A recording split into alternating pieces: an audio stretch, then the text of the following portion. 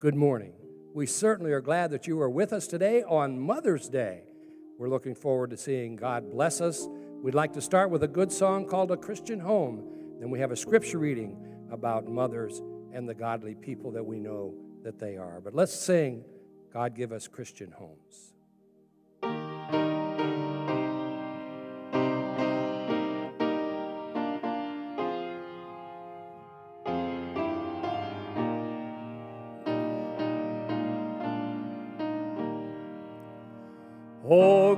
Give us homes built firm upon the Savior,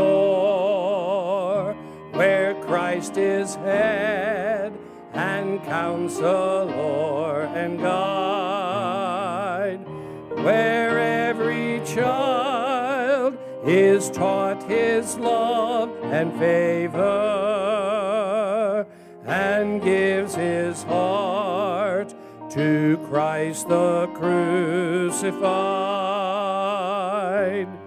How sweet to know that though his footsteps waver,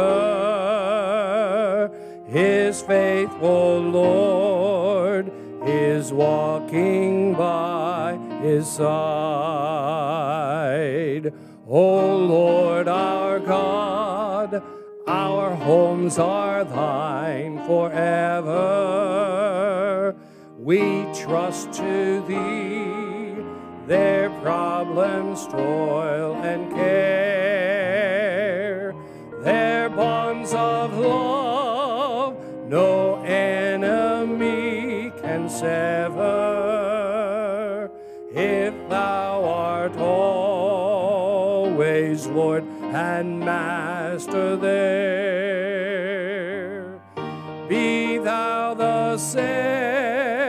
center of our least endeavor. Be thou our guest, our hearts and homes to share.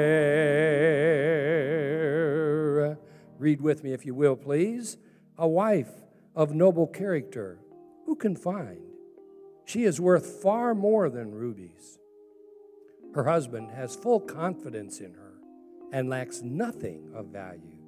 She brings him good, not harm, all the days of her life.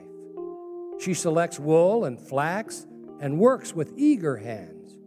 She is like the merchant ships, bringing her food from afar. She gets up while it is still dark. She provides food for her family. She opens her arms to the poor and extends her hands to the needy. She is clothed with strength and dignity. She can laugh at the days to come. She speaks with wisdom, and faithful instruction is on her tongue. She watches over the affairs of her household and does not eat the bread of idleness. Her children arise and call her blessed. Her husband also, and he praises her. Charm is deceitful, beauty is fleeting, but a woman who fears the Lord is to be praised. And now let's sing, May those who come behind us find us faithful. Oh, may all who come behind us find us faithful. May the fire of our devotion light their way. May the footprints that we leave lead them to believe, and the lives we live inspire them to obey. Oh, may all who come behind us find us faithful. Happy Mother's Day and welcome to another Sunday here at Covington Church Online. And maybe you're in the live chat area right now and you'd like to wish somebody happy Mother's Day. Go ahead and do that. If you're here for the first time, we would love to connect with you. You should see a connect button pop up in the live chat area, and we invite you to go ahead and interact with that. And maybe there's someone in your life that you would like to ask to come to church with you. You should also see an invite button pop up in the live chat area now, and that should uh, give you several options that you can share our service link with them. Covington Kids, each week there's a live Zoom meeting at 9:45 that's going on during the modern service, and there's a Team Kids Zoom meeting every Wednesday night at 5 p.m. And the youth have Zoom hangouts during the week. Just check out facebook.com slash NG Student Ministry to find out what's happening and all the ways that you can get involved. And if you're missing the Wednesday night service, why don't you come to the midweek Zoom gathering?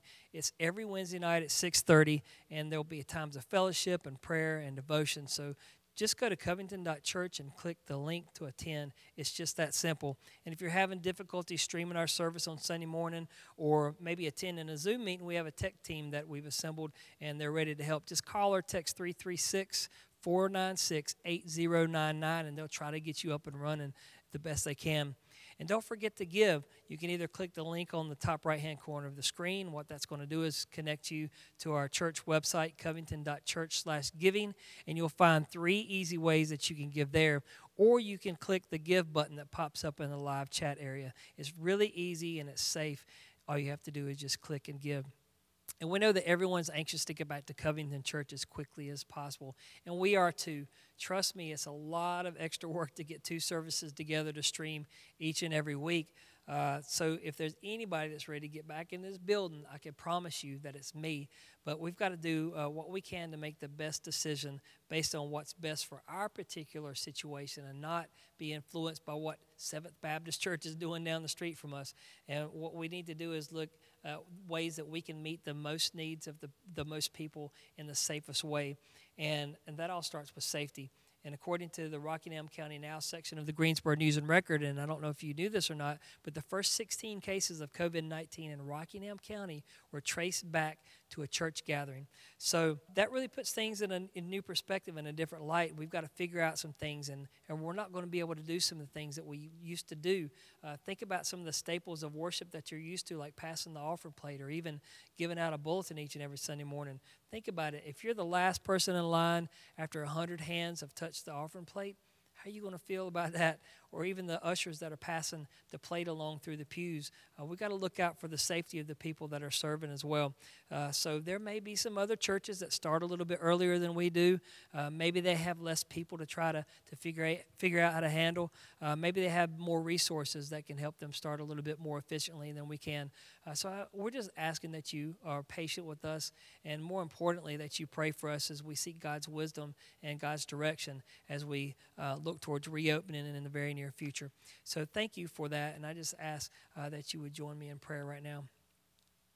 Lord, we just thank you for this day. We thank you for our mothers and what this day represents. But we pray that it's not just something that we do today, Lord. Uh, we pray that, that you would help us, that we would express our love for our mothers each and every day. And uh, Lord, I just thank you for the service already and for the, the special congregational that we've already had and the special music that it's about to come. God, I pray that you would bless it to our hearts. And I pray that you would even bless the, uh, the children's video that's about to come before Pastor Clayton's message. And thank you for uh, the love of these kids that put this thing together. And I pray that it will bless our hearts. And then, then as Pastor Clayton delivers the message that you've laid on his heart about mothers, God, I pray that it would uh, touch our hearts and that you would use it uh, to help us to be better mothers and better people in this world, Lord. I just thank you for all that you do for us. I pray that you would bless this day. In Jesus' name we pray. Amen.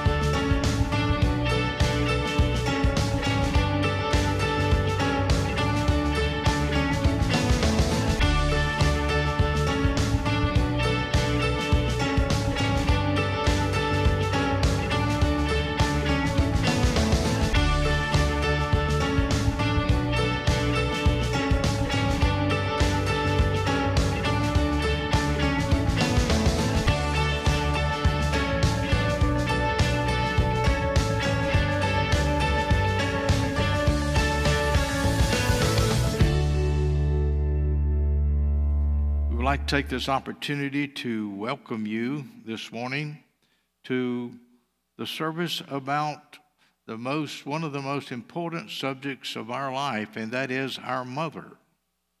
I want to speak to you today on values my mother left me. This is Mother's Day, and of course, there are precious memories that uh, flood our hearts and our mind, and deep emotions uh, uh, flood our hearts to the extent that we just feel a tenderness in this hour. This is a day when we relive the past. There's a magnetic tenderness that soothes our heart. If I were asked to deliver a series of messages to a group of ladies or mothers, what would I speak about? Let me tell you some of the subjects that I would probably speak about. Number one, I would probably speak on what my mother taught me. Maybe another one, some things my mother had that all mothers need. Or maybe I would speak on Mary, the mother of Jesus. And another one would be the privilege of being a mother. And then there were and are monuments of memory that we all have of our mother. Another one would be a mother's choice. I would probably speak on a telegram, one that my mother sent me many years ago that I still have. And then another one subject that I think would be very good would be a certainly a mother's influence. And then of course a respected mother. But today I want to speak to you on the values my mother left me. I was asked by the family to uh, write my mother's funeral message. And I spoke on about three different things about my mother. Someone has said the three most beautiful words in the English vocabulary are home, heaven, and mother. It's no accident that these three are linked because they're closely related. That which makes the home heavenly is a devoted mother in it and that which make heaven like a home is a mother in it. And then I spoke about, first of all, was her pardon that's found in the 31st chapter of the book of Proverbs that I will be reading to you in just a moment. Because in verse 30 it said that a woman that feared the Lord. The second one it was her precepts. She had great wisdom that's brought out in verse 26 in that in that passage of Scripture. And then I spoke about her praise. She lived a life of principle. She honored the Lord. She loved her neighbors and friends and her church. And then her pricelessness.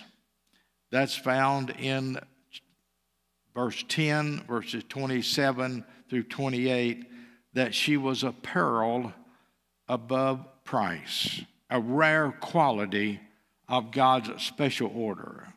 I'd like to turn now into this passage of Scripture that I said I would be speaking about in regards to what a mother really is. Once in a while on Mother's Day, I pull out my mother's Bible. It is torn, it's pretty ragged, but it has so many wonderful things in it that I shall never forget reading them and keeping them. And every once in a while, I will pull them out. And this is one that, uh, that she had put in the front, and it was entitled The Builder. The Builder Building a Temple. But then it closed with that in the heart of a mother, she's building an eternal soul. Would you turn with me now to the 31st chapter of the book of Proverbs? And we will begin at verse 10. Who can find a virtuous woman? For her price is far above rubies, The heart of her husband does safely trust in her, so that she shall have no need of spoil. She will do him good and not evil all the days of her life. She seeketh wool and flax and worketh willingly with her hands. She's like the merchant ships. She bring her food from afar. She riseth also while it is yet night, and giveth meat to her household, and a portion to her maidens. She considereth the field, and buyeth it. With the fruit of her hands she planted a vineyard. She girdeth her loins with strength, and strengtheneth her arms. She perceiveth that her merchandise is good. Her candle goeth not out by night. She lay her hands to the spindle, and her hands hold the distaff. She stretcheth out her hand to the poor, and yea, she reacheth forth her hands to the needy. She is not afraid of the snow for household, for all of her household are clothed with scarlet. She maketh herself coverings of tapestry. Her clothing is silk and purple. Her husband is known in the gates. And then it closes uh, with these verses in the last part of chapter 31. Her children arise up and call her blessed. Her husband also, and he praiseth her. Many daughters have done virtuously, but thou excellest them all. Favor is deceitful, and beauty is vain. But a woman that feareth the Lord, she shall be praised. The values my mother left me, and I'm going to be referring in a few moments to a particular passage of scripture that's found in 1 Samuel chapter 1 and also in chapter 2. When I think of the things my mother left me, it was not the riches of this world. It was not the gold or the silver or land or anything of that nature. But the most precious thing my mother did leave me was this Bible. It has meant so much to me down through the years. If someone were to ask me what is the greatest, greatest thing my mother left me, I would have to say it was her Bible. But without hesitancy, another thing that my mother left me with was a godly example. And the biblical character, I think, that both basically fit my mother is found in 1 Samuel chapter 1 and chapter 2. It is there that certainly a grieving mother by the name of Hannah had been barren and had not been able to have children. While another one of the ladies had gone to the temple along with the husbands uh, to bring gifts and to rededicate their children to the Lord. She was not able to do that. And while others had uh, gone through the process and she had felt the, the desire to want a child. She went over to the temple and went before the priest and talked a few moments and then went down to the altar and told the Lord, If you will give me a child, I will give him back to you. To all of you mothers, I do want to say this to you, and I hope it will fit your occasion as a mother and as a family. I believe in dedicating our children unto the Lord. And as it happened, by God's divine providence, she was able to conceive and have a little boy by the name of Samuel. She kept her promise to God. She honored the Lord and she brought that child back to the temple that he might be taken care of, and that was surrender. Now, what was her reward after giving that only child she had back to God? She had five other children. She had three boys and two girls that followed. What a marvelous promise and reward that she received. after God had allowed her to have that child, and she was willing to go back to the temple and leave him there in the hands of the priest and those that worked in the temple. Amazing as it was.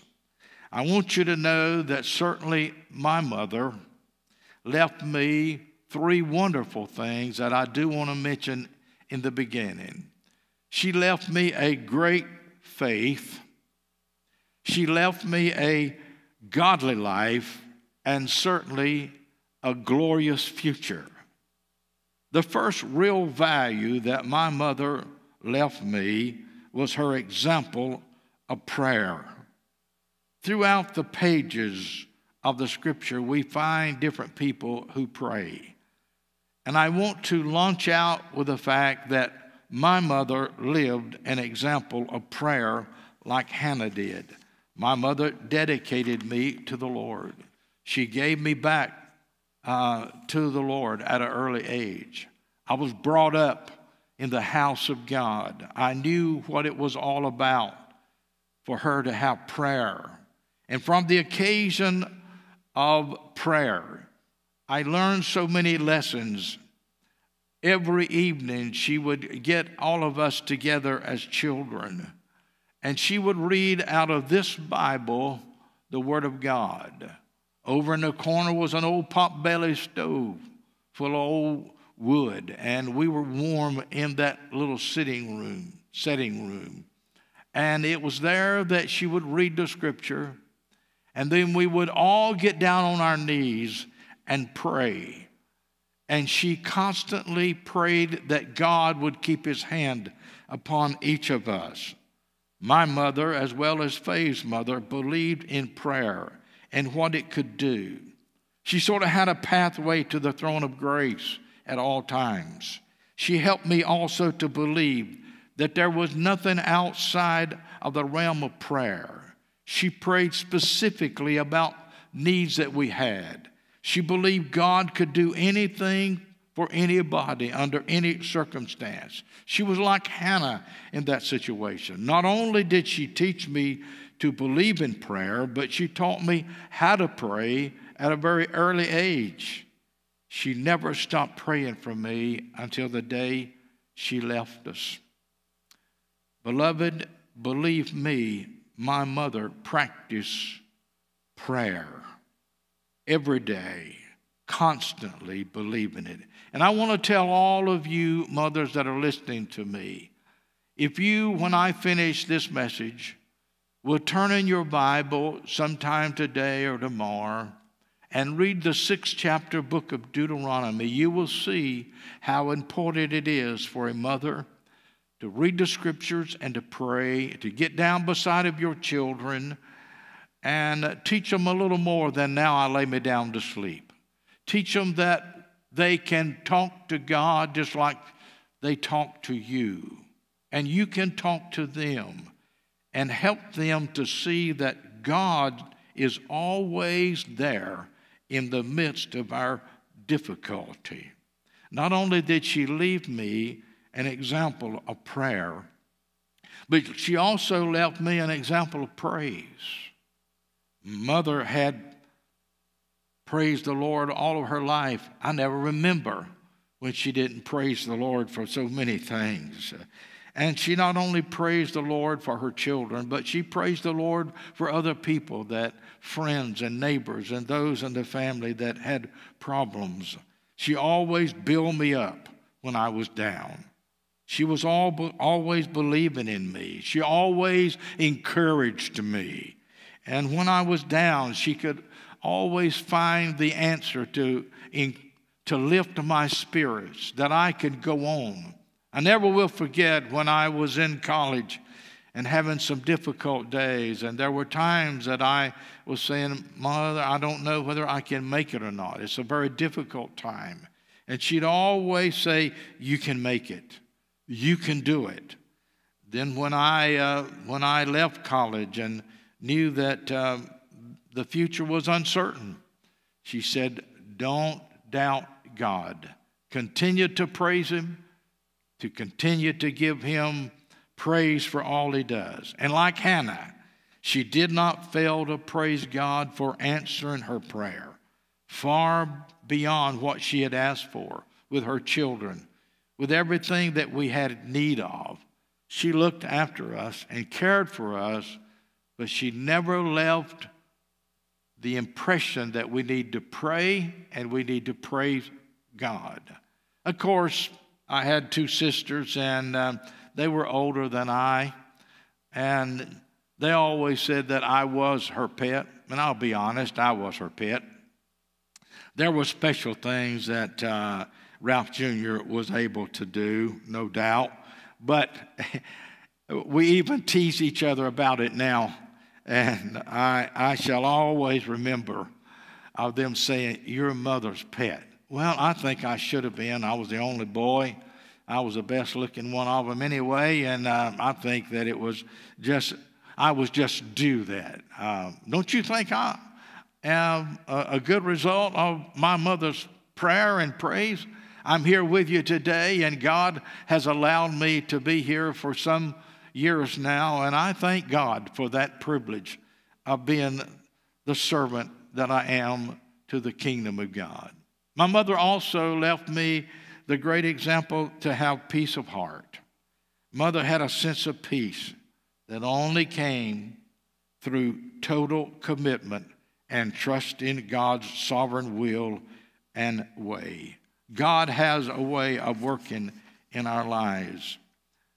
When she gave me that uh, assurance that I could pray, that I could praise God, but also I could have peace that passeth all understanding.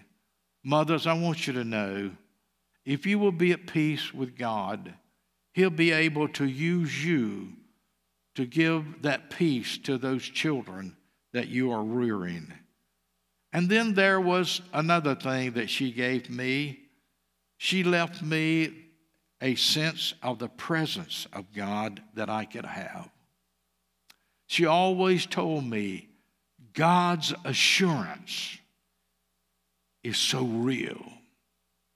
Don't doubt the wonderful, blessed assurance that He will give you in your hours of struggles and trials and temptations and anxiety.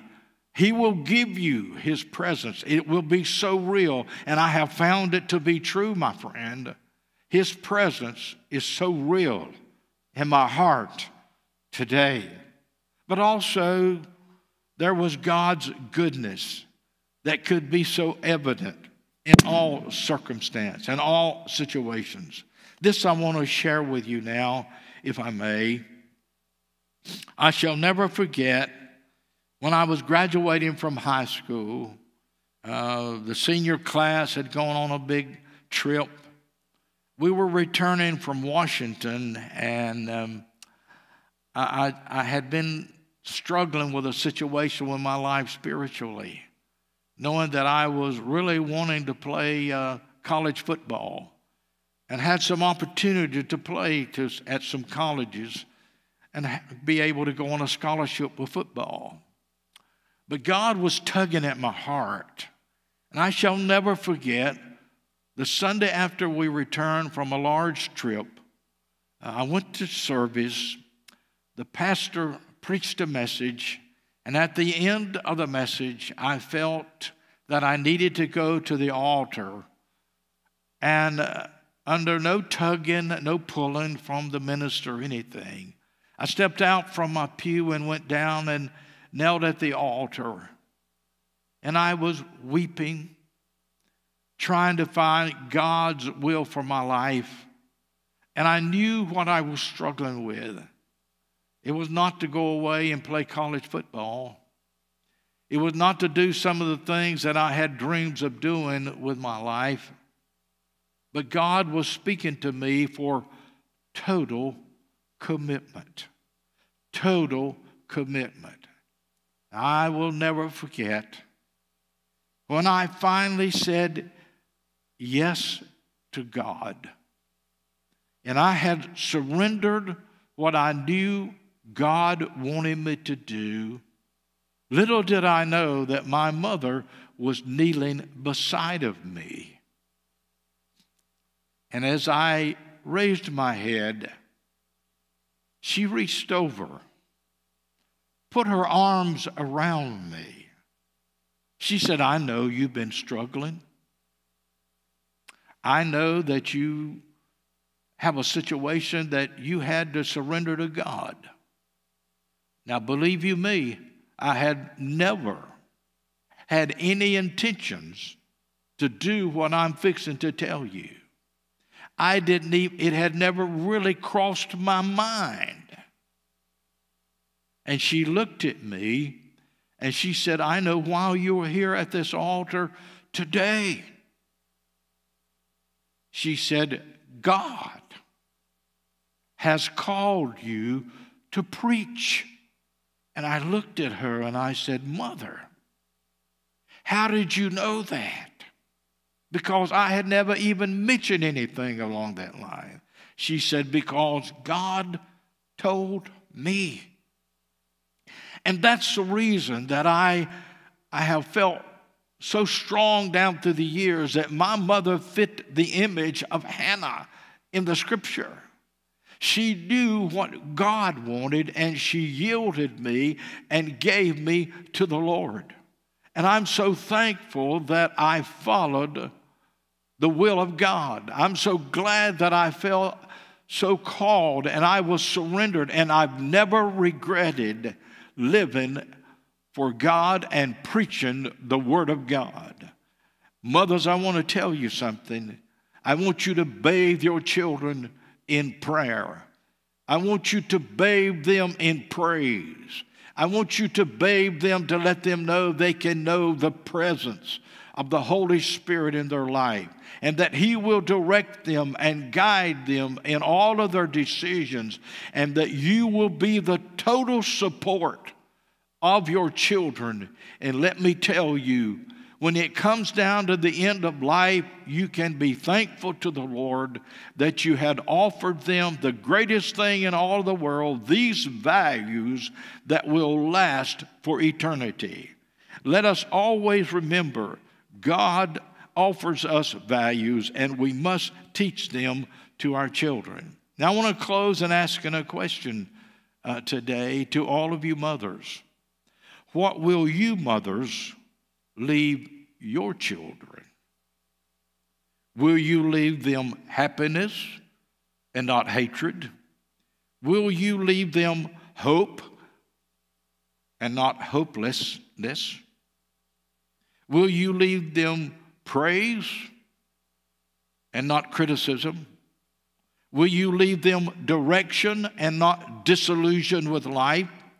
Will you leave them with stability and not have instability? Will you leave them the Savior or Satan and the life of the world? Will your children know how to pray? Will they know how to trust God? Will they know how to make big decisions and small decisions to find God's will for their life? Will they know how to handle responsibility? Will they know how to sense what moral values are? Would they have any self control? Will you leave your children a spiritual foundation? I want to encourage you to please do that. Some of you may be saying to right now in your own heart as you're listening to my voice, I've been a total failure as a mother. Maybe you have, but maybe you haven't. Maybe you just haven't trusted God like you should have. Maybe this is the hour that you could get on your knees, find a quiet place with the Lord, and surrender yourself. Now is the time to mend your ways and make things right with your children and with your family. Seek God's forgiveness. Begin today, from this hour on, surrender to the Lord. And if you haven't gone to church like you should have, if you haven't gone as a family, I want to encourage you to do that. Start after this terrible experience that we've all been through. I trust that churches will be filled when we're able to open the church to everyone and that they will come to church and they will those who have sort of gone by the wayside and have left the church out will put God first to be kind, the kind of mother that God would be pleased with. And whatever you do, surrender them, your children to the Lord and practice these values in front of them daily with your life. Let us pray. Father, if there's some mother who's hearing my voice, who have let other things get in the way of God and the church, I trust that they will find a place to kneel and surrender everything to the Lord their husband, their family, and certainly the children, but to surrender themselves, first of all, so that they can practice what God laid down in the motherhood that He created. I ask that the Holy Spirit will guide them in the days to come. In Christ's lovely name I pray. Amen.